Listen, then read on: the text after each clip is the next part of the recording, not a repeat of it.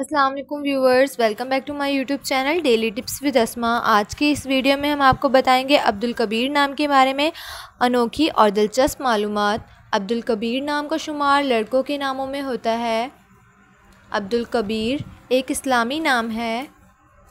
अब्दुल कबीर नाम की इब्तदाई तारीख़ उर्दू ज़बान से निकलती है। अब्दुल कबीर नाम के अफराद के लिए खुशकस्मत नंबर तीन माना जाता है। माहरीन के मुताबिक अब्दुल कबीर नाम के लड़के बहुत बहादुर होते हैं। अब्दुल कबीर नाम का मतलब है अज़ीम का ग़ुलाम। अब्दुल कबीर नाम के लड़कों के लिए खुशकिस्मत दिनों में जुमेरात और मंगल का दिन शामिल है। अब्दुल कबीर नाम के अफराद के लिए मुआफ़ रंगों में सुर्ख बनफशी रंग शामिल है।